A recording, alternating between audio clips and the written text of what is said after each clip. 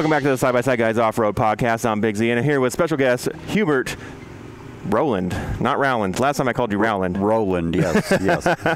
And we are here live at UTV Takeover 2021 in Grundy, Virginia, at the Southern Gap Outdoor Adventure. We're actually on the uh, the patio, the the overlook over here, and we can see, you know, a valley of pretty epic uh, hills and, and valleys that you can go ride on the Spearhead Trail System. And uh, if you haven't been up here, um, it's a pretty awesome little trail system. it's it's my first time here, Yeah. and uh, uh, as much as I've rode all over the country, I've never rode in Virginia or West Virginia. This is the first time being in Virginia actually riding. Wow. So you're gonna you're gonna get an experience because you're going out today. You're gonna take a group of people out for a ride. It's part of your um, kind of get out and ride program you got going on. So kind of give us a rundown on what you got going on. Yeah, I I really just try to go to you know kind of established events, um, kind of use the name I have to to draw a crowd, and let's just go out and ride. Right. You know, uh, it It's not a big publicity stunt. It's it's just no, it's like I want to ride, Yeah. and I want to meet the people that that love riding. You know, Right. and if you have questions, ask them, and if you just want to ride, just ride. You know, Yep. that's. I think um, I we get disconnected from people so often with personalities and brands and stuff. I. I don't consider myself a celebrity whatsoever, but we were watching the little the little race yesterday. yeah.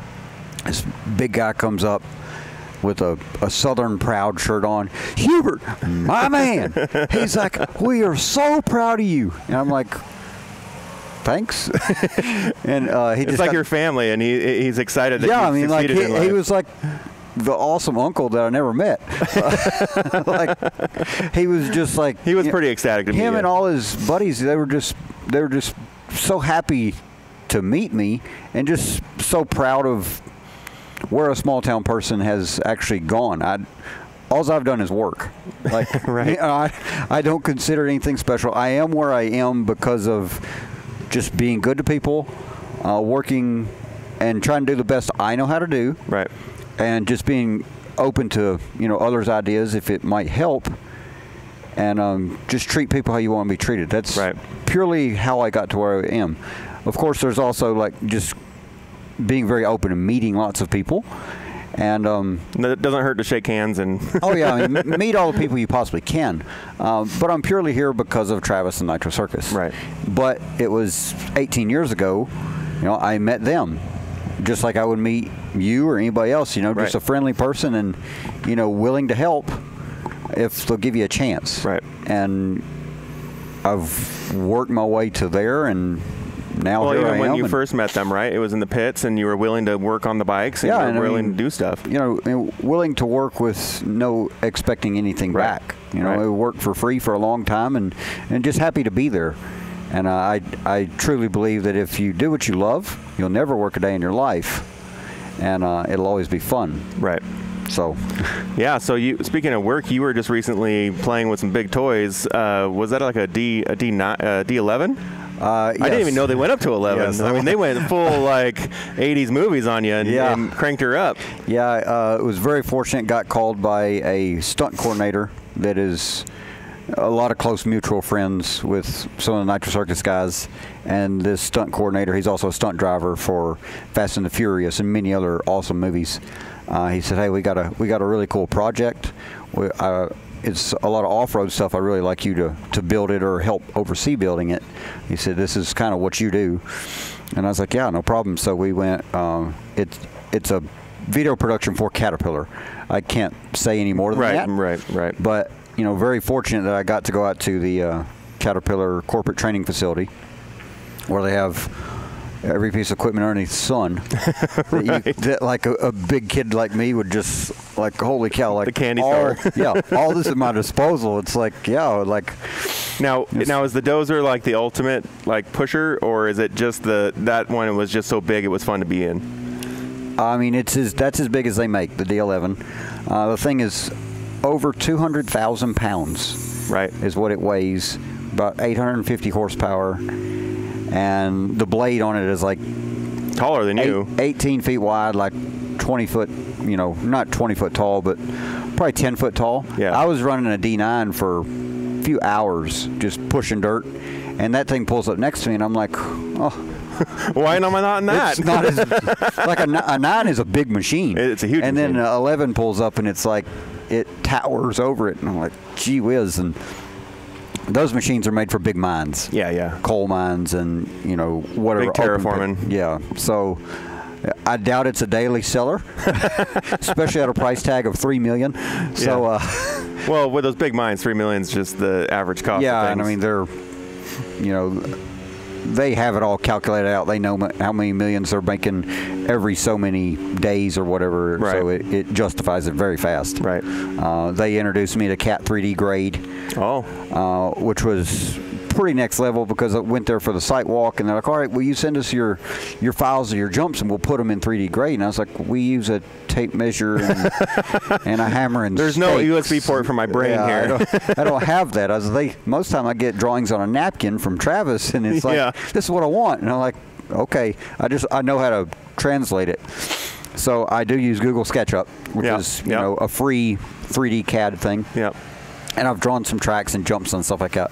And it, it's super good to get to show someone the basic of what it is and kind of calculate a footprint of where it fits. Um, and you could take the time to exactly draw it, you know, the radiuses and everything, but um, it just gets the idea. Right. So I, I sent the, the drawings to him. There's a lot of back and forth. All right, this works. Uh, could we do something different here, here, here? Because on a video production, uh, what most people wouldn't know, you know, on a track, you you build a track to to ride fun, to flow good. You know, some people want big air, some people don't. Whatever. With a video production, it's what does the camera want to see? Right. What's going to be in the shot? It's it's purely like what do you want the vehicle to do? How high do you want it to go? You know, do you want to see the vehicle vehicle working, not working, whatever. So with all that in mind, then they come back to me. All right, we want to see this, this, and this. So they draw out some jumps. I send them to them. Well, their earthworks side, which is part of the 3D grade, they convert it and put it on a map. That With all the GPS that coordinates is and of everything. the area. They Yeah. go out and they GPS the whole land, and then they just set it on top of it. So I got there, and they they had a a, a fair portion of the dirt moved. They introduced me to 3D grade right away, right away, and they're like, "All right, you go up to here, zoom around on the screen. Here's some some dirt hills we're, we're going to put you on," and um, they're like, "You know, you have to be an operator. You have to be able to get the You have to be able to move the truck, the, the, the, the machinery around and yeah, get, and get no. and you got to be able to blade the dirt in where it needs to be. But once it gets in with so many tenths, you just hit the auto button, and you can watch the screen. It, the blade will drop to auto. Yeah. And no matter what the machine does, the blade is keeping it Perfectly. at that grade. That's crazy. And so, like being an operator, like like a flat floor, like a football stadium, I could get it Pretty close. pretty darn close. It would take time because you got to go back and forth and feel high spots, low spots. Get out, That look thing, at it. You can back up. You can hit autos, and it will cut exactly that. That's crazy. So it just it amplifies the time like tenfold, and it's they're really big on um, relaxing the operator. Right. Because if you're going to be in a machine for 8, 10, 12, 15 hours a day, you know, it, it doesn't seem hard just sitting there moving joysticks all day. It'll wear There's you a out. lot of mental things of like up here, down here, up here, down here, and you're just back and forth, back and forth. It's that constant stress of, of trying And- to navigate. Yeah, and it, it it wears on you. Yeah. You know, at the end of a day of just grading something all day long and no assistance whatsoever, and not even grade stakes or someone checking grade. You know, And, and the old days where there was no AC and there was no tinted windows and there was no airflow and you know Yeah, all that stuff. no stuff. radio or no nothing. so yeah, they're they're big on operator comfort. Yeah. Because operator comfort brings efficiency. So you know, Caterpillar is, is Now the last dozer The top- that I, I was in pushing stuff around on, and I don't do it a lot, but like the last one I was in, the, there was just a hard seat on a hard bench. Like, are, are they moving up to a, like air ride and stuff now, or So, nearly every every dozer I got in out there has heated or AC ventilated seat in it. oh shoot, you don't no more swamp? No more. Oh, swamp. Oh, man. I mean, a cab alone with AC is nice, but then I see the seat and the little blue light on. I was like, no way. I was like, I was kind of waiting for this to happen. Yeah. There it is, and now. I'll go back to Pastrana Land and get on our Get on the website and start ordering. our 94 model D3 that's open cab and be like, whatever. we just need to work on that Caterpillar sponsorship. yeah, so it, it, was, it was definitely a, a, lot of fun. Everyone there is amazing people. Uh, I shot some ideas around of just what I you know, kind of see and think of the future.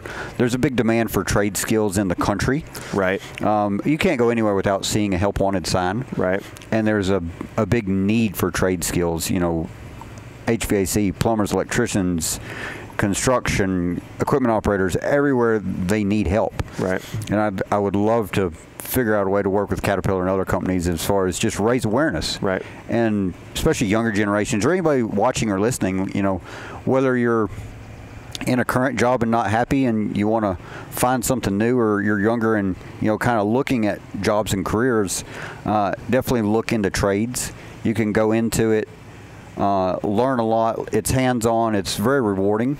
Like for me, like dirt work, you go out in a flat field, and whether you're cutting ditches or building a track, you basically take it from a drawing to your head through the controls, and you back up, and it's all done. It's like molding it out of clay. Like it's very rewarding. And the, the thing that a lot of people don't realize that about trade work is that there's a real um, tangible benefit to being done at the end of the day. Oh, for sure. Like I come from the IT industry and stuff, where like your prod your projects just never ever oh, end. Yeah. And no matter how much work and how many hours you put in overnight, like you work a 20 hour day. Yep. No matter what you do, it's never going to be done, and you're in, in the stress level that goes with that is horrible. Yeah. And at the end of the day of a tradesman, right? Like the work's done, and Yeah. you go home. Yeah. When the, when the job's done, okay, we go clock in on another job. You know, it's Right. kind of like a reset. Yep. Every time And the every job job's ends. a little bit different. So yeah, there's always a little bit of variance. Uh, you can go through trade schools and stuff like that, and you can come out far faster, far less debt, Right.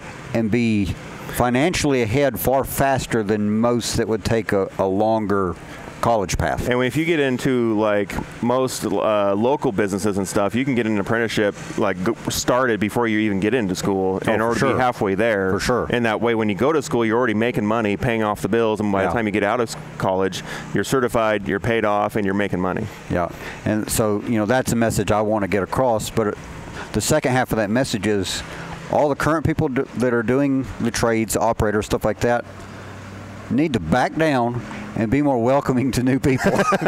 Because I get And it. new, and new lifestyles, Yes, and new personalities. I, I get it. You're good at what you do. I mean, that's awesome, and I'm I'm pumped for you. There's operators that are probably ten times better than me, but if there's a newcomer that wants to come in and learn, be willing to help them learn, Right. because y- you're going to want to retire one day. Yeah. And someone's going to have to take your place. They're not trying to take your place right out of the gate by no means, but they want to learn. They want to be as good as you. Right. So share the knowledge. You Right. know, I mean, help. Help each other out. That's all. Well, I that's, mean- that's life. Just help each other out. If the whole country would help each other out, we'd be in a lot better place. Yeah. If we were just be good and do good, you know. Yeah. And treat people how you want to be treated, and you know that's that's simple. It's simple, simple, but it's very hard when your ego's bigger than your brain. yeah. Yeah. Well. And there's a lot of us out there. we're all guilty of it at times. That, that's all. That's really all there is to it. Um, but it is what it is. So how's uh how's life with uh, Pastrana Land and Nitro Circus going and all that? I know Travis has, has been doing a lot of the rally car stuff recently and, Yeah. and with Subaru and all that. Um, what what's the environment at, at Pastrana Land and what's going on? What do you guys got on the books? Well, uh, Pastrana Land is, you know, it is what it is. It's a shop with property and bikes and everything are there. And I- maintain it and kind of keep it up and running. And You guys just did a pick the like a, the third series of a, uh pit bike race over there. we did you? that. That was, uh, we filmed that back in May. Okay. And, you know, with filming that kind of stuff, it's very quiet. Yeah. It Because it can't get out before it's out. right. um, you know, we, we talk, you know, we're going to have pit bike races. It's it's very closed. You know, teams are set, invited, stuff like that. Locations are set, and then you know, I fully built the track at Pastrana Land with the uh, help of Zach and a couple really really good local friends. Uh, we had a round at Kevin Windham's house in Mississippi, so him and his guys built that, and then Ryan Ryan Sipes' house in Kentucky, so him and his brother built that. So it was three races, three locations in ten days. Um, oh, it was in ten days. Yeah. I didn't realize that. and then it's filmed in 10 days and the biggest reason they do that is nitro is a production company Uh, right. along with stunts and all that kind of stuff Right. so on a production side of it you're you're bringing in these camera operators. You're hiring a whole team around the whole concept. So you you try to limit how long Right. that you have to pay them. Um, and they they're not that they're being cheap, no, but no, just to be an efficient company. It's not. Yeah, it's it's all about efficiency. Like these, a camera operator and his equipment. You know, they they pay the guy and they rent his equipment. I mean, it's expensive. Yeah. it's extremely expensive. So. They limit it out to 10 days, and most of all those kind of people are private contractors. They're job per job. They know what they're getting into. and you also and- want to keep them the same people site to site so that it looks the same. Oh, and, of course. and all that. And you want the same people running everything because they all have the vision that goes across. right. So it, it, it works very well, but that's they cram it in 10 days and partly scheduling. Like some riders were riding pro nationals, some riders were doing other things. Then you got camera people in production, and you have to move everything. So it's easier just to keep it cluttered up and move it all, and then we're done. Right. Instead of do it and then try to regather everybody a couple weeks later, it it just makes it very hard. Prep is the the thing that takes the longest Yeah, they uh, they spend a lot of time scheduling and all this kind of stuff. because you got so many personalities and different angles to, Yeah. to bring people in on. and the, the schedules alone, like Travis's schedule is is very booked, um, because everybody asks me what is he what what is he doing? What's he doing? I was like, well, rally is number one. He's Subaru's number one driver in America oh, okay. for American Rally, which is stage rally, which is gravel roads through the woods. Each stage is roughly eight to 15 miles, and you're racing the clock. Right. So it's start point, go. Whoever does it the fastest wins that, that stage. You move on, and there'll be anywhere from 10 to 15 stages in a weekend, but they'll cram them in two days. So he's at a rally right now in the Northeast. Last I looked uh, last night, he was running fourth in times. He was 19 seconds behind the leader, Holy cow. and he's fourth. So the top five is within a 30 second Right. time frame. right. Uh, that's insane. And the top two were within like a second and a half. Yeah. So they're all just spot on, Right. amazing drivers. It's basically whoever makes the first mistake. Yeah, that's really what it is. Wh- Whoever flinches. Yeah. so that that's what he's doing, but then he's also a large part of Nitro Rally Cross, Right. which is it's I think like 20% pavement, the rest of it's dirt, and we're setting them up at different current off-road tracks like Okay. ERX. Okay. There'll be one there. Uh, I'm really pushing them to have a UTV Pro class. That'd be just fun. one That'd be fun. uh, just to kind of break it up. Yep. And I think it'll be kind of an invite, maybe qualifier weekend before, because this is a live show. We have his class, which is supercars. Those cars, there's only 10 of those cars in the world. Uh, Right. They're probably pushing about half a million apiece. Yeah. Um, four cylinder Subaru pushing seven, 800 horsepower, something like that. So all you kids out there with little Subaru bangers and realizing that they could be a half million dollar car. yeah, yeah. you think you're spending a lot now? no, no. But they have supercar class, and then they have the lights class, which Oh, is okay. more of a spec car. Right. They're all the same. Where the supercars, they they are all off of base guidelines, but they are different manufacturers and stuff. Right. And they're truly race built. Like you'll take a Subaru, they'll pull it apart. It's a shell. Then they'll cage it. Then they'll brace it, and then they'll basically put it all back together. Right. The whole thing's based around the frame. Yeah. Yeah. And so um, Nitro Rallycross starts September 25 weekend. So it'll go, that's at Utah. That track's already there because they've raced there two years in a row, and they leave the track because they don't need to move it. Gotcha. Like the facility doesn't. And that's at the Utah Motorsports Complex right outside of Salt Lake. So that's September 25 weekend. October 2nd weekend is the RX, the following weekend. And they're back to back, which makes it hard for us that are helping with track. Right. Um, but those tracks are already there, so it's mostly just prep it, you know, get dust control and all that kind of stuff. ERX people, Andy and those guys up there are unreal. They've already built the track. It was a Pro 4, Pro 2 track. Oh, okay. And all they did was make the landings longer. Yeah. You know, just more forgiving for a car. A little flatter for the car. Yeah. And so he's uh, Travis went out there and tested that with the Subaru team, uh, just to make sure the track can get to where they needed it to get to, and then do some car testing also to see what's going on. So that's back-to-back re- weekends. Now, do you have to leave like from the event early to go handle the other one, or do you kind of have the ability to just complete the entire thing and then jump out and go? on on those two, since the track's already there, basically probably fly Sunday night, arrive Monday morning, start working on ERX as far as getting compaction, dust control, stuff like that. And then there's, I think November time frame is uh, Wild Horse Pass in Arizona. Okay. Where's that Wait. out of? Uh, it's just south of Phoenix. Okay. Yep. And that track is currently closed. It was a Pro 2, Pro 4 track, but we'll change it. We'll use what's there, but change some things Right. for Rallycross. Then from the schedule, I believe the following weekend it goes to Glen Helen, Okay. which they'll they'll edit and change that Pro 2, Pro 4 track. And then the last round is at the firm in Florida in December. Uh, and it's it kind of you kind of edit for the cars, but it's already there. So when you go to an established track, right, and they put a ton of money and time into making these things what they want it to be, right, and lots of input over the races. People say change that, do this, and then you come in and, and and totally reshape half the track or whatever the case is.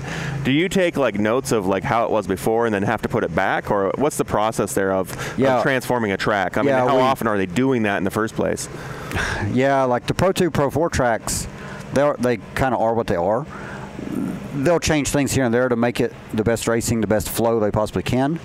And then we come in there and yeah, I mean, screw it all up, and then screw it all up, take away all their compaction, and all that kind of Yeah. stuff. But we do put it back to where it was. Okay. Um, as far as like we can't roll it in and get it as hard as it was, but it'll be all the same shapes, and it just takes time to to get it all slicked off where they wanted it. So, yeah, we al- we always put it back. Um, I work with one guy that has a big contract with some some live shows, and they do they actually do like turf and football fields. Oh, right. This guy does. So they'll have the contract to come in and pull up all the turf.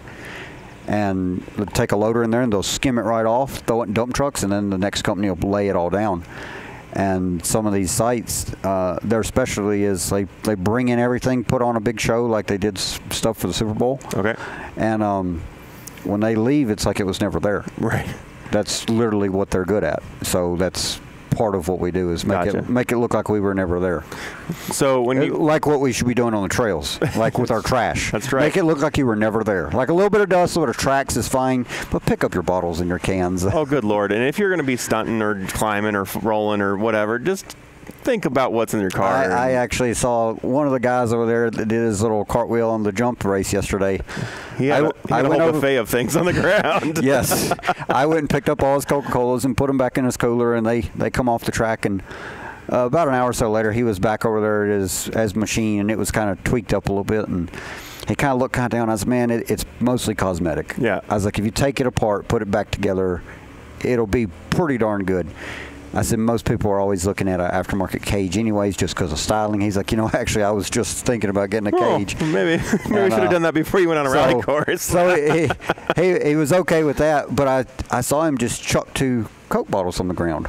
oh man! Like they were all shook up, and he I didn't I didn't really see, but I just saw him fall on the ground. He just kept on messing with stuff, and he he kind of looked around, and I said, "Are you really gonna?" Just thought it was on the ground. oh, you straight up called him out. Oh yeah, I mean like, uh, because I'm thinking that's why people complain. Right. You know, that's that's just the start of it. I just don't understand the mentality of. And he was like, "Oh, it- oh, well, they just fell out of my cooler when I was looking at it." Yeah. I'm like, "Mm, "Well, they kind of hooked kind of far." That was a that was a funny little uh, jaunt they took. yeah. so, But no, that's way. an important message. I mean, we're talking about these trails out here. Like these trails didn't even exist until they came in and, and reshaped this. This used to be actually uh, a coal mine, Okay. right? And they and they it was completely stripped bare. Hmm. This whole mountainside. This this used to be a mountain, and then it's no longer a mountain here uh, because they mined it out. Okay. so so they, they came in years ago and, and started redeveloping and terraforming and, and planting and, and all that stuff. And then they built this whole trail system that didn't exist, right? Yeah. Like there's a bunch of outlaw trails throughout Virginia and all that Oh, yeah. stuff. But there was no official trails. And so they came in and built these trails. They got them, you know, they worked with the state and the local governments and all that to do it. And then, you know, why would we ruin such an amazing resource by just leaving our trash out there or if we roll it or whatever and everything falls out why would we just leave it there yeah, I, I, I don't fully understand that. Um, I don't. I, I watch the pages and stuff like that, the little UTV pages here and there, and, and, and comment where I can help. Yeah. Um, usually, if it's under 10 comments, because if it's over that, it's usually so far off subject, it doesn't matter anymore. get buried but uh, There was there was a couple on trail, a couple recently about Tackett Creek, which is kind of just north of Royal Blue Brimstone area. Okay. And a awesome place. It it's pretty technical riding, like straight up wall climbing up hills and stuff Right. like that.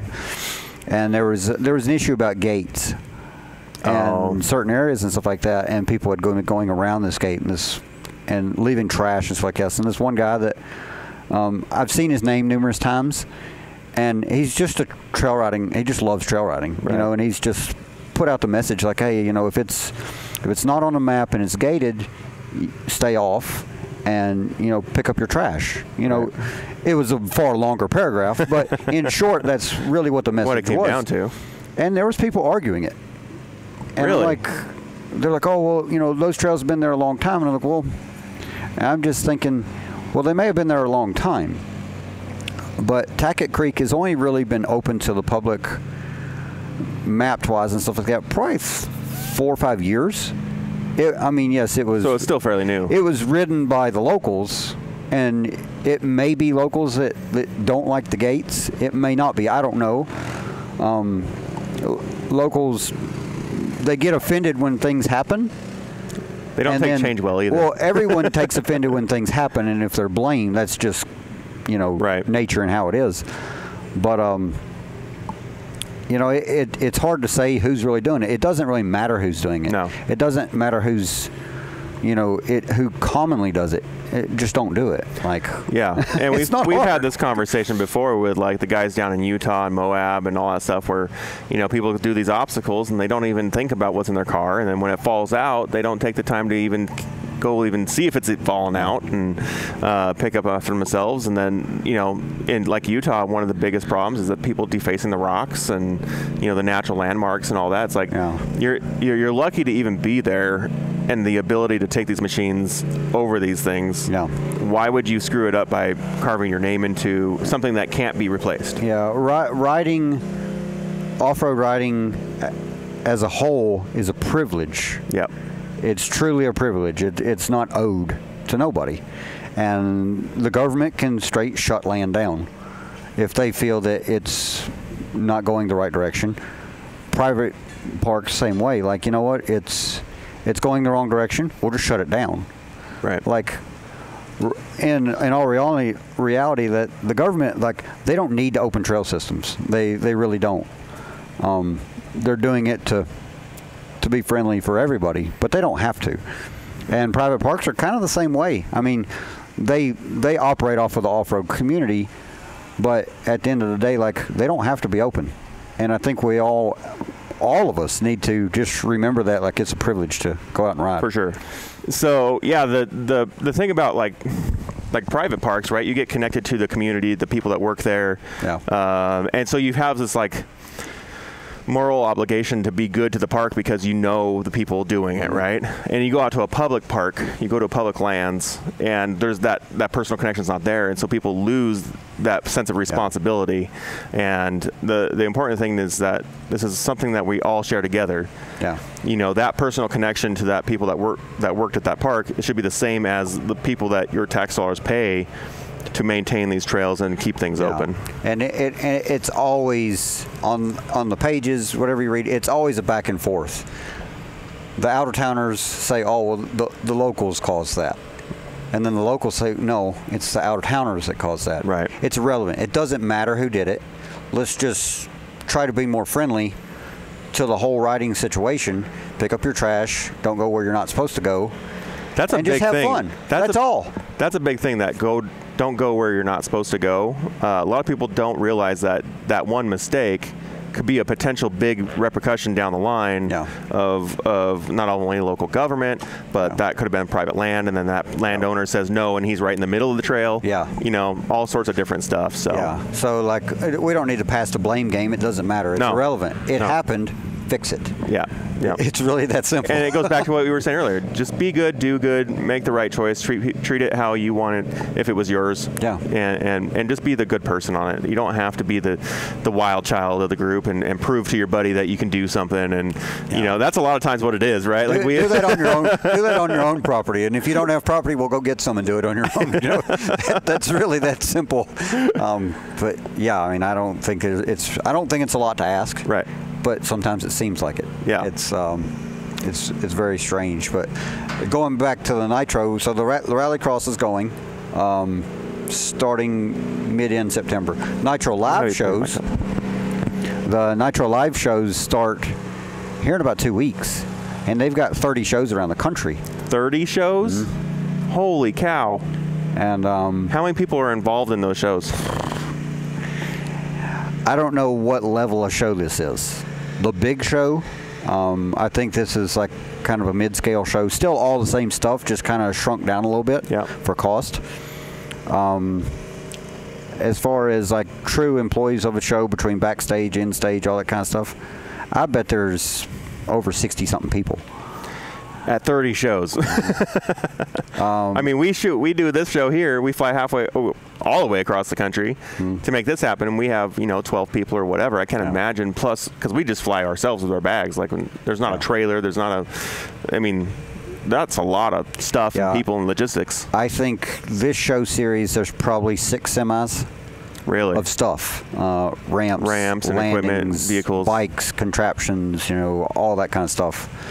And um, they Contraptions. That's a special category. I, I like that category. Yes, you got the tricycles, uh, the recliner, the rocking horse, you know, all the stuff that goes down the ramp. Super cool. That's probably my favorite part. I mean, the freestyle is awesome, but to see those different little kind of contraptions and toys go flying through the air, that that's that's awesome to watch. It's always good to see a, a recliner go down a mega ramp. Oh yeah, that's that's amazing. But that starts here pretty soon, so that'll. Um, What are what are some of the main uh, destinations for that? uh, I know it's going to Nashville because I've had numerous people message me wanting tickets, and I have nothing to do with the live show. Uh, So I, you can't get tickets no, from Hubert. I I purely help Travis. And take care of Pastranaland, and I'm a personality for Nitro Circus when needed. That's where that's where I stand. Like- we always need you. Uh, well, I thank you, but I can't get your tickets. I don't. I'm sorry. Uh, it's funny. I actually sold a used set of tires to a guy back in the winter through Facebook Marketplace, and never met the guy in my life. And That's a um, good way to meet celebrities. we just yeah. go find out I where they're him at- selling stuff. I met him at the local dealer, and the tires had a couple hundred miles on, them, but they were still in good shape. Uh, just didn't need them. you just broke them in. And uh, yeah, and I met him up there, and uh, there's a lot of people that message me back and forth. They don't even look look it up. They just Right. okay, this is what I want. Some That's guy fine. selling something. Some people um, Recognize the name. recognize it. Some people don't. Whatever. And this guy, he rec- he recognized it, and I met him at the local dealership, and we traded our made our exchange, and uh, went on our way. Literally, maybe two weeks ago, show's coming near his house. Hey man, I was gonna see if you can give me some tickets. I'm like, I don't even know you. I had to look back through our messages. And I'm like, I sold you a used set of tires. You had to figure out what, how this Yeah, guy was. yeah. I sold you a used set of tires, but now you want Nitro Circus tickets. Like, come on, man, really? And uh, I was like, man, I, I You just need to fill out a disclaimer form, like every time you interact with somebody. Please sign this, signature Yeah. that, and leave me alone. yeah. Like, I mean, I, I get it. You know, it's cool and it's fun and all that kind of stuff. But like, just to be honest, I have nothing to do with live shows. Um, I mean, if I wanted to go, I could call and like I could get there, but I can't bring other people. Like that's Do how they, they, do make they money. give you like a 10% discount on the tickets getting in? You know what? you know what's funny? I have to buy my clothes, like nitro clothes and stuff like Oh, that. Oh, because that's probably separate, right? It, well, it's the same but separate. It's same because it has the name on it. Right. That's really about it. That's about it. Because I've sent a message. I said, hey, if you're sending some shirts and stuff like that, they're like, oh, we'll just uh, just here's a discount code, Right. and run it through the site, and then it'll go through. I'm like, okay. We'll, we'll put you on the influencer program. Yeah. so like, uh, you know, I, I've went online and bought like four or five shirts that I thought were pretty cool, and Right. you know, it, it is what It it is what it is. yeah. So, because I, yeah, I, I could, being part of that. I, I just I have the- I think some of us that don't understand how this all works. Like they, they envision Travis over there packing a shirt in a bag and putting the postage on it and shipping it out the door. Yeah. I mean, there may have been a time where that happened, but that's been a long time ago. There is because I do keep a a handful of his jerseys that they sell. Right. Like you can just buy his jersey. It won't be signed, but you'll you can buy it. Sometimes they'll announce they'll have him come to the office and they'll sign 50 of them. Right. So I keep. We, we each have little lockers at the shop, so I'll keep 10 or so in there, just for that case. Like Gotcha. if he he'll, hey man, do you, do you have a jersey I can sign? I need to send it to wherever. right, because he's out there doing or- whatever he's doing. and they're not the exact jersey that was with his gear, but you know people love the jerseys, so I, I do keep a couple for that kind of stuff, Right. but it's not like they're just sitting around in boxes everywhere. Now, now let's not lie. We know that you wear them around the house No. and in bed, and, No. and no, I'm sure some people do, not me. I could care less. He's a he's a great friend, uh, great person to work with, but I'm not wearing his clothes. Sorry. I just want I just want Travis to come out with his own underwear and Yeah. have his face there. Ethika it does have like I think 199 underwear, or they did a limited Oh. run. they had Valentino Rossi underwear. oh And wow! They sent they sent it they sent it to all the people that they kind of work with, and they sent one to the shop, and it was in like a pizza box with Valentino's cartoon face on it, and I. You know, opened the box. I saw it, and I just I leave everything on the corner of the workbench that comes there for him, and he doesn't even check it half the time. I'm like, hey, look at this stuff, see if you want anything or throw it away or whatever. And uh, he looked at the pizza box. he just like, he's like, and he just left it. He's like, I guess you don't want to wear another guy's face on you, yeah, especially on your underwear. yeah. That could come across a little strange, I think. Well, that's what makes it fun, right? yeah, well, I guess. I got a lot of. Okay, That's enough. I got way too much injury. So I want to know, like, I'm not an interweb surfer like you by no means. Like, I don't. I probably only use like 20% of my, what my phone can really do. Like social media, I Google like how to fix some things if I can't fix it, and I use text and call. Like Yeah. that's really about all I use. You know, the calendar or something like that. But I, you must be some kind of internet connoisseur because you're pulling up these these patent photos and stuff like that and these drawings. I don't know where you would even begin to find that kind of stuff. Like, are you you got an inside with like the patent office or something like that? Well, Or- you know, I, I I put a bug in the government office of patents, and uh, anytime they talk, I have I have Siri queued up to it, right? And Okay. anytime they say Polaris, Can-Am, whatever, Siri tr- tells me, and then I go and listen in. That's what I just the way they listen to us. Yeah, yeah, exactly. You listen to them. Yep. But strictly on Power Sports I- UTV. yeah. They're listening to everything. Technology is amazing. You can, you can get down to like even the color of the vehicle. Okay. Yeah, yeah. Green UTV. green and UTV, and then and then Kawasaki pops up. Okay. Yep. Yep. okay. Interesting. I was kind of wondering how you found all these things, and uh, I guess being very technical, it, that helps. Yeah, you know, the, the amazing thing is that uh, we live in a country of uh, legalism, and so and uh, and so there's processes to cover your butt on a lot of things, and uh, there's some side effect, there's some side effects to that. So Legal until jailed that it's not. it's legal until it's not. Yeah. Okay. I see your little drawings here and there, and I'm like, wow, this this guy does his research. Yeah, like, there's you know I'm I'm a curious guy, and and really what it comes down to is passion. oh, I'm right you know, you. like I, a little kid who is into a video game, Hmm? right? Like let's just say Fortnite, Xbox, whatever. They're gonna know everything about that, the characters' names, down to like the different colors and changes that they do over time, and Hmm. and they're gonna get excited about it. They're gonna look forward to it. They're gonna, you know, come press you to pay for the upgrade or whatever the case is. Uh, that's me but in big sized things. Like I just get so excited and I nerd out on these things and I and I want to know why the 2020 Can-Am RR is different from the Can-Am or R from the 2021 RR. So, Like I want to know the difference. I want to Yeah. know why. I want to know and even to the point of I want to know why the decision was made.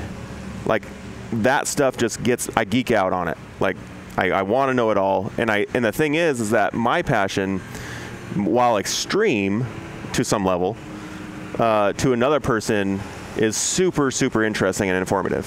And so that's what I'm trying to do is just translate that passion and information that other people otherwise would not have uh, about our industry that's essentially still birthing. Like it, we're, we're in this in this process of becoming, you know, an infant to a toddler, and Yeah. and this off-road industry of UTVs and, and ATVs and all that is really going through just a huge genesis of transformation.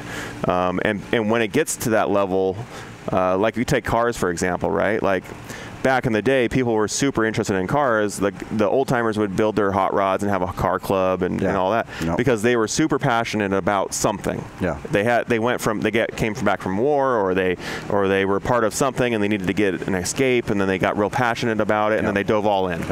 And that's what's happening with off-road now. And that's what's happened with me, and that's why I never want to have a desk job again because I found that next thing. Yeah. And uh, and there's a lot of people that have that passion. They just don't know how to. They're not technically equipped. They're not, you know, uh, proficient in, you know, understanding how things come together and all that. And and really, what it comes down to is I want to be able to know it myself, Yeah. but then I want to help other people understand it. Yeah. And so I'm really looking forward to the next season of content that's going to be coming through my desk. Is that I'm literally looking forward to. This is a cool thing, whether that be an upgrade, a car, or whatever. Mm. Here's why it's interesting and why you should consider it when you're next time you're going to buy. Yeah. And then let me show you what it's capable of. Yeah. So that's really exciting, and that's why I do what I do. And and I'm not out to hurt people. I'm not out to like damage anybody's um, Oh, for sure. reputation. Or and, and there was a post a while back where it's like you know there there. I may have let some photos out that may not have been supposed to have gotten out, and and honestly, and- and all truth, straight up, you know that was a mistake by accident. Like it was Yeah. it was not intentional to be wrong in that situation. Yeah. Um, but uh, what it comes down to is the consumer is so hungry for this information, and Hmm. Yeah. there's nobody really providing a concise way of consuming that information. No, I mean, 100%. And photos and stuff like that, like, the OEMs can say what they say, and like, oh, it wasn't supposed to get out. But Somebody was- made it. Somebody put it, out was there. It, was it secretly like a little nudge to get buzz? right. The the car companies do that. Yeah. You know, they'll they'll leak something vague, whatever, and then it'll disappear. But it was enough to get people talking. Right. Enough people getting interested. So, you know, who's to say? You know, So just so everybody that's, under, that's irrelevant. So everybody always says, "Well, they gave you that to post." It's like, no, that's not how it works. But at the same time, there is in the automotive world, there are some on-purpose mistakes Yeah. that do happen. So uh, just for clarification, that's not what happened with me. It just, anyways, It, it, it is what it is. But it, it's super interesting to where uh, to what's to come and, Yeah, and because- where it's going. Right. And Um, I, I look at like the patents you were saying, like I look at the Yamaha patents that, that we found and the trailing arm upgrades and the shock upgrades and you know, they're not going to come out with a dual shock, king shock, external bypass setup like the patents show for the consumer. That's just Yeah. not going to happen. Yeah. But it's super interesting. Oh, And- for sure. And maybe they're maybe they're um, just kind of blocking saving for future. Exactly. Well, I think Um, what they're doing is they're they're trying to uh, protect their investments into their racing programs, into their athletes, into their their core business of um, generating performance parts and all that stuff. Right? Like you can't when you're at a, when you're corporate level, you have to protect every little dollar that you put into it, and that's Yeah. how they do it. Yeah, it's far more than just build a machine and sell it. Um, there's way more into it than that on their levels, of course. Right. And you know, funny, you go back to the patent thing right quick. So I grew up racing motocross and stuff like that, and then the I started racing roughly 2000 range. That's when I had the money to buy my own bike and and kind of learned that racing isn't a club that you got to sign up for and hopefully they pick you. it's just if you have the money and the bike and we'll pay for it, you can race. you can do it. It's really that simple. Uh, early on, Honda on their motocross bikes, they patented the routing of the front brake line. Oh, right. So it went from You know, master cylinder, straight down the fork, slid behind the fork, straight to the caliper. They patented the routing. So every other manufacturer had to take the brake line straight down the fork, under the fork, and then back up to the caliper. That was the common first thing, you know, people would change, but they were smart enough to like, no, we designed it, we own it. Right, and now I mean, since then it's ran out, but you know that's just what you're saying, protecting an idea and really Right. capitalizing on it for as long as they possibly can. and I mean it goes down to and, and it can it can benefit it can also harm Yeah. and we look at some of the the kerfluffle that's happened with like the, the Gordon and Textron stuff and or Arctic Cat and, and some of these other things where that approach has gone a little bit too far Mm-hmm. in its aggressiveness and has actually reduced the aftermarket. Yeah. It has reduced Yeah. the uh, the dealer sales and it has reduced the actual consumption of that product. Yeah, because there. I mean, I I've you know had numerous conversations with with Can-Am and you know just my thoughts on you know recreational and stuff like that. I, they've got professionals, but I'm also in in the field Right. and deal with a lot of different people and stuff like that. And um, I have had a lot of conversations in that area right there. It's like you got to cater one area, even though you may not be comfortable, Right. to You- kind of get them back because, I, like, I feel people buy a new machine or UTV um, for very there's a, just a small list of reasons. Either their friends have it and they've seen what it'll do. It could, so they kind of go that route because they can share parts, Right. Just in case Yep. and they may not drift a different way because either their friends don't have it or they've never messed with it or they never drove it so you know that's why the experience like here where you can go and demo something It- that's super cool because you actually i mean it's not like riding one all day but you get a general feel of it like okay i, I kind of like this i don't really like this you know that you know That's why I'm a big advocate for dealers that have test tracks or whatever in the back that they let you go ride on. Yeah, Yeah. they're not going to build you a jump, they're not going to build you a hill climb, but it at least gives you seat time to Yeah. really actually start to hear the squeaks, feel the turn, see how it handles, and, Yeah. and get more familiar with it. so yeah, I mean, I, I've shared that information, and I'm sure they know that in in every way. Uh, probably more technical than the way I say it, but I'm like, you know, these are just the reasons that I feel people, you know, go a certain route with a machine, and I will say that like I've had numerous buddies swap to a Can-Am since they've drove one of my machines, Right. and I I don't even say anything. I was like, all right, just drive it. Yeah. And your car's not uh, like a super custom build or anything. No, I mean my Hammer's car is built safety spec wise and tougher, but the rest of the cars are they're stock with bolt-on stuff, Right. uh, like roof and bumpers and you know shock therapy spring kit and stuff like that. But you know they're they're stock cars, and the first usually the first thing is like oh well I don't you know I, I can't see and I'm like, well stop stop stop. I was like all right let's just think about this for a minute. It's like you're sitting in a sports car. You look across the hood. Right. And I was like, you sit in other ones and you're a little more sitting upright, so you're kind of looking down on the hood.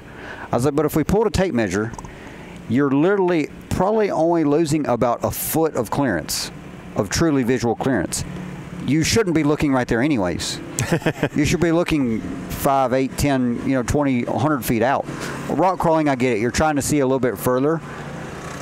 It doesn't matter if you could see right in front of the bumper. It's not going to change how you're driving. Right. I mean, it'll help you move your tires, but you just need to focus a little bit further.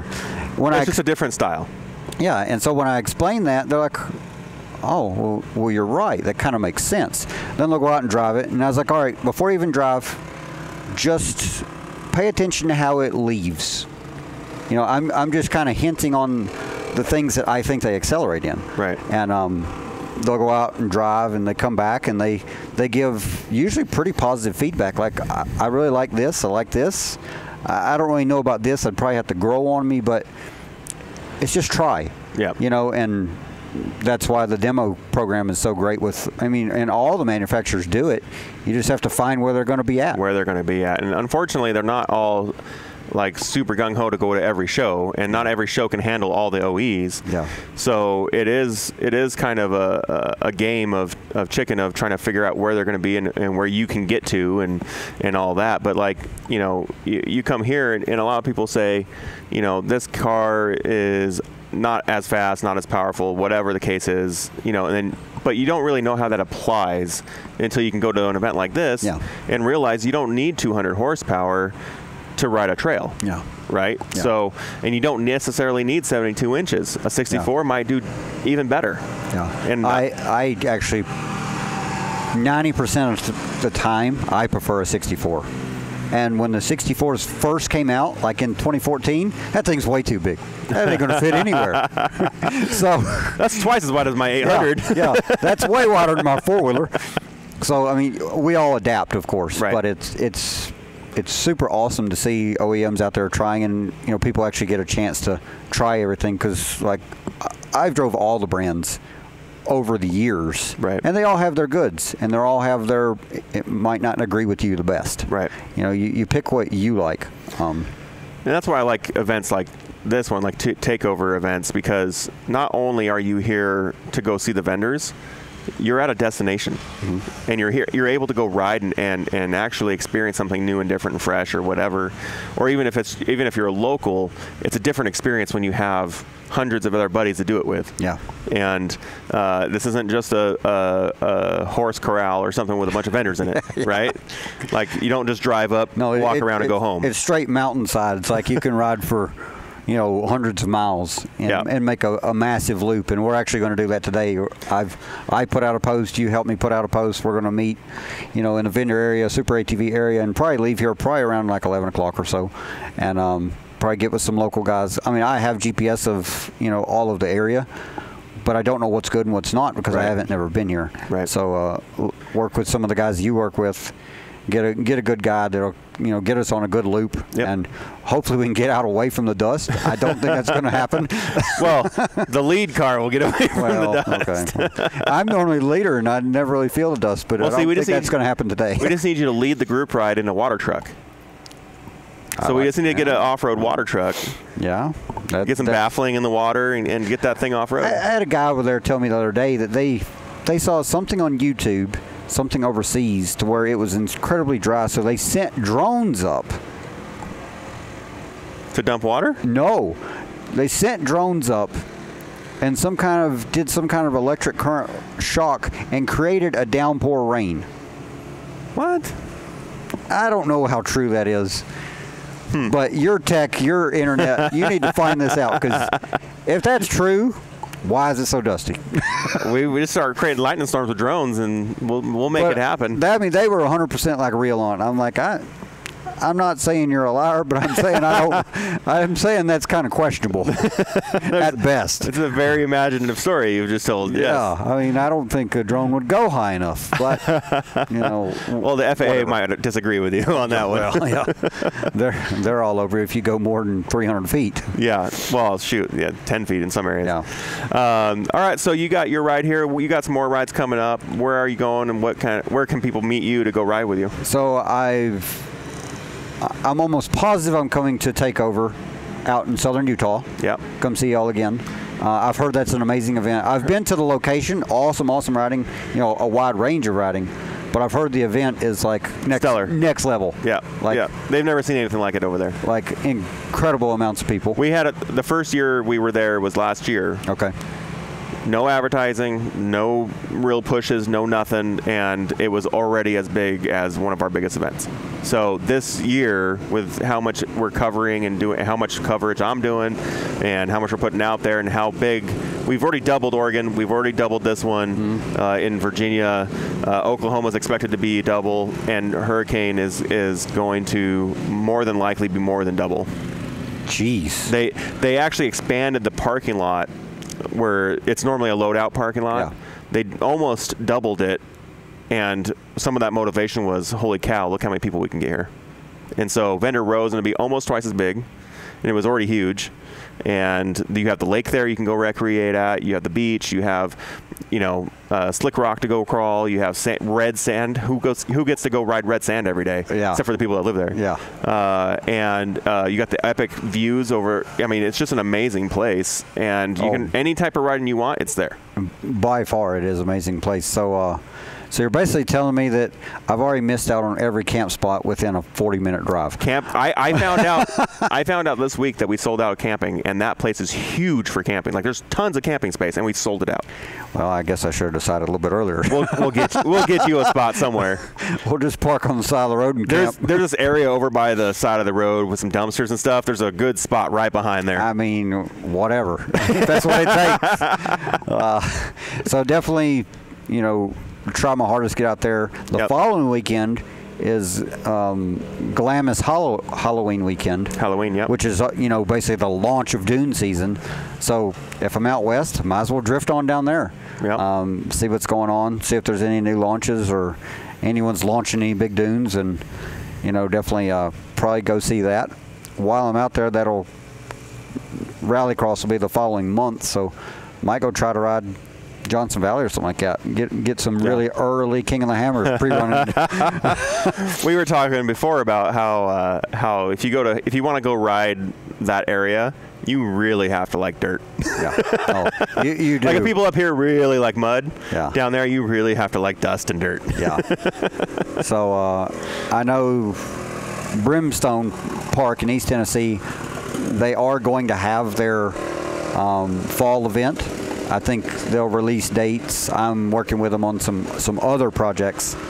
Um, they're going to release dates probably next week or so. Okay. Uh, once that releases, I'll, I'll for sure be there. You'll be- part of that. Yeah.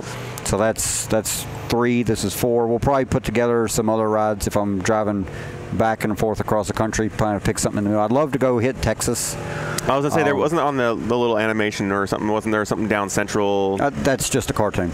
Like, that's, just because there's a dot there doesn't mean I'm going Just because it looks like a map isn't mean it's an accurate yeah, map. I mean, it, it, it's it's a map, but that that you can't pinpoint me to that location. Uh, I'd love to stop through Texas and hit some of the parks down there.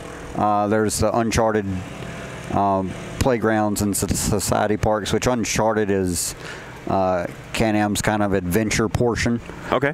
of um, of riding, whether it's They've been developing that a little bit more Yeah. lately too. and it's um it's the I think the society side of it is like outfitters where you can meet up with people that are guides and might have some vehicles you drive and you know, if you don't have it and you're trying to get into it um, and then the playgrounds are actually like parks but they do have a, a fleet there that you could possibly rent if you need or whatever so i definitely like to go connect with some of those um, I'd love to go hit the Ozarks and stuff like that. I went through there when I went across country, but that was in 17. Yeah. Uh, there's amazing riding there. It's just amazing riding everywhere. It's it's just hard to hit it all because usually there's a goal to get somewhere, and there's usually a time frame of like, okay, I'm leaving Maryland, the event's in Utah. It takes me exactly 40 hours to get there, so I have 45 hours to get there. Right. And so it's hard to make time to, to drive in between. Yeah. So I might need to find a driver. Well, I think it's always a good time to get out and ride, and especially with people that you don't know, and, and especially people that have a certain skill set that you don't have, and Yeah. can show you what's capable of your Yeah. machine, and and do it safely Yeah. uh, with some actual like thought put behind it. And Yeah, yeah. Any like anyone that you know, I post online of when when I'm going to ride and where, and everyone's invited to come ride. Uh, you got to have your own machines. I can't provide machines for everybody. Let's be clear, he's not bringing a Can-Am fleet with I, him. I'm not providing a passenger seat or an extra machine for you know the public. That's just not how it works. But if you want to come ride, you know, come experience a ride with me and all that kind of stuff. Awesome. I'd, I'd love to have everybody. If you have any questions, just ask. Uh, from time to time, people see my machine and they'll ask questions and just get some true insight. Um, I work with numerous companies, but I'm going to be honest, like whether kind of where the certain item fits. Right. Um, it fits what I'm doing. Right. It may not fit what everybody's doing. You know. not uh, everybody needs portals. not- yeah. I mean, some people need them. Some people don't. You know. Some people, need heavier axles or better spring kits. Some people don't. Uh, a very common question is like, oh, what about a frame brace kit? And a guy actually asked me, asked me yesterday. He's like, oh, my my my X3, it's got like 3,000 miles on it now. And I'm like, yeah, man. I said, you've been trucking. That's awesome. And uh, he's like, yeah, I think I'm kind of up for, you know, I probably need a shock rebuild and some springs. And I was like, oh, well, you know, look into shock therapy or, or, you know, whoever you feel you need. I was like, they have a really easy website, you know, to, to get the right spring rates and stuff. And he's like, yeah, I'm really looking into that. And I kind of looked at his shocks, and I was like, well, if you bumped them crossovers up like three inches, I was like, it'll ride better. I was like, you're riding on the big spring the whole time. Right. I was like, you know, that'll give you a little plusher ride. And he's like, oh yeah, for sure. I'll definitely, I'll definitely look into that. And he's like, he's like, let me ask you, um, do you need a frame brace kit? I was like, well, how do you ride? I was like, you've got 3,000 miles on the thing, and it doesn't look like it's been rolled yet. So, how do you truly ride? He's like, well, we like to, you know, we're from around here. We like to go ride like 100 miles a day. I was like, man, I'm right there with you. I love that kind of stuff. I said, do you just beat on it and bash on it and, you know, run through the trees and hit stuff if it's in the way and do you climb hills and cartwheel? And he's like, no, no. He said, we just like to ride. I was like, well, you may not need it.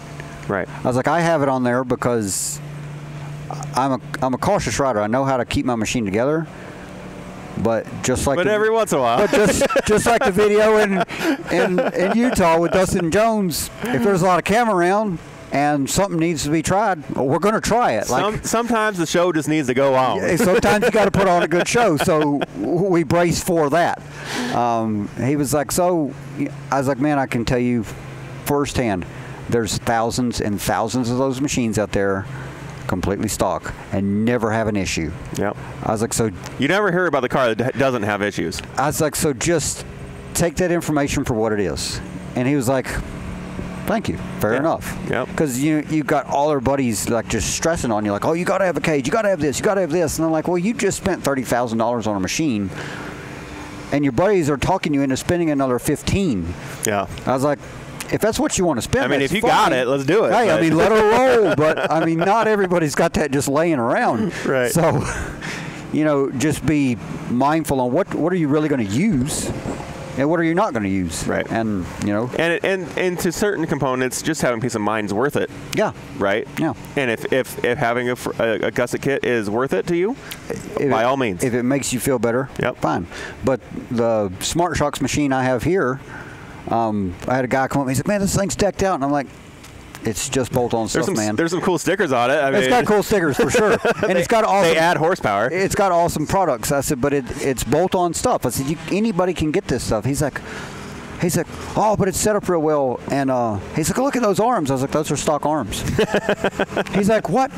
I was like, I plated the bottom of them because I have access to that. I plated them and I run a crossbar in them. I put the skid plate back on. He's like, oh. I was like, this car has been fully through King of the Hammers. That was what I pre-ran the whole course with. I put it through everything. I said I did it at a cautious scale, Right. just to see stuff. you mean you don't like- you don't you don't pre-run at race pace? Not always. but, you know, because you're a long ways away from the truck. That's purely why. That's the only reason. But, you know, it's been through all that stuff and it made it just fine. So that's like, you, if you know how to treat it, it'll get there. I said the race car, yes, it takes more of a beating. You know, we hit everything faster. And, like, because, but just like that, that security of, like, I've done all these heavier things. I know what it'll take. I can bash through there a little bit harder and know it'll be all right. Right. So. Well, uh, folks, if you're you're looking at to go to any of the shows this year, check out see if Rowland's going to be there, and um, you might be able to go out for a ride with him and rip and see what he's all about, and uh, maybe rally with him a little bit and push him up to the front. I'd, I'd say the biggest thing I get is uh, people have a, a slight fear to ride with me because of who I'm involved with, uh, Nitro and, and Travis and all that kind of stuff, and you know action sports and, and whatever big stunts. Um, we're not doing that on the trails, all right? Let me just be clear. like, I, I'm not out there running 60 miles an hour through the woods and hitting everything as fast as I possibly can and, and, and forcing people to do hill climbs that they don't want to do. I'm not doing that. We're just riding trails and seeing stuff. I mean, yes, we cover a lot of ground. I don't stop a lot. I just want to see stuff. Right. Um, but I'm not going insanely fast. And So it's not the 530 club, but it's also not you know 100% rally. It's not racing, but yes, it's not ride five and, and stop and take pictures and socialize for 30. So. Yeah. so uh, once again, we're at UTV Takeover, uh, Grundy, Virginia. It's going off. Uh, today's the last day. We're going to see uh, uh, some side-by-side racing, um, and then we're going to see Hillfest, which is going to be a lot of fun. Uh, see a lot of guys uh, try to try to make it up as fast as they possibly can, and, and get around a tree and some other stuff. Uh, we had mud bogs yesterday. That was a lot of fun. I've seen flamingos out there. There was there was some flamingos Like little out there. plastic flamingos just floating around. We thought about getting bigger ones for you when you showed up, but uh, we couldn't find them in time. I was looking for a gator. There was some interest. There was funny watching the guys. I mean, I'm not from the South, and I'm not used to the mud scene, and you know all Yeah. that. But I thought it was purely entertaining watching the the frogs jump back into the water as they get splashed out of the water. yes. I thought it was more entertaining that like you got your ones that are mud machines, like they put the tires Yep. on with snorkels, and then you got guys in fully stock machines. There's this guy that raced a little 12, course. four- 12, 14 inches of clearance on 29. Oh man, there's this one guy that raced the course. He was on a 64 inch X3. Yep. On the rally course. Yeah, spare tire, Yep. run the whole rally course, did great, uh, moved on pretty quick. Then I look down and he's lined up for the mud bog. he's like, I'm here for everything. What whatever you got, I'm doing it. I'm here for all, all the and things. uh, he won a couple rounds. Yeah. And like stock tires and everything. And Yep. I'm like, the best part about him, he had a flip windshield. He cleaned his windshield. Every pass, they'd go over there and clean it. And right as he pulled up to the line, he pulled the windshield down. Yep. He'd take off as soon as that initial splash.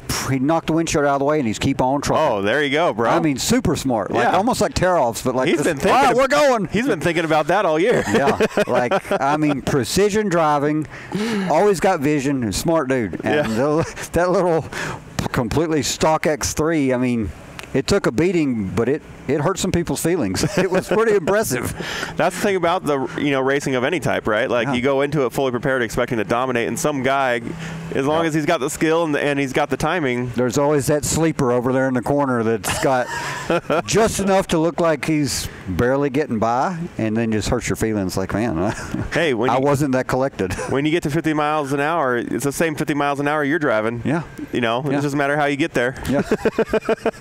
So, uh, well, thanks for joining me. Uh, thanks for Thank coming on down, much. and uh, I hope you have a great day riding. I wish I could be out there. I was in a, a slight car accident last Friday, and and Yeah, and, so- and not feeling too good. So the, the harnesses feel pretty bad when I'm bumping Well, around. But uh, Maybe Utah. Maybe, well, yeah, we'll see. I really do want to get out and, and film some of that riding out in Utah uh, sure. this year, and so we'll have to do some of that. Uh, but uh, you can find the podcast on Spotify, YouTube, uh, Apple, iTunes, all that stuff. Uh, you can find us on, um, you can find UTV Takeover at utvtakeover.com, uh, all the places like that. Where can we find you, where you're doing, and what you're doing with Can-Am? Uh, all my social pages are at Nitro Redneck, R E D N E K Hubert. Uh, that's Facebook and Instagram. Uh, I have a, a website at huberttracks.com, and uh, but mostly it's all social media type stuff. So if I'm doing it and I want people part of it, it'll be out there. So if you want to ride with him, uh, follow his social pages. Uh, he'll be posting there the dates and locations. Uh, and sometimes locations like this just pop up. And so if you're not following him, you won't know about it. So if you want to keep track of things and have a good time, uh, go uh, like and subscribe and do all that stuff. And as uh, what were the influencers? What did they do? They, um, smash the subscribe button and uh, and get that done and uh, have a good time. So until the next time, guys. Peace.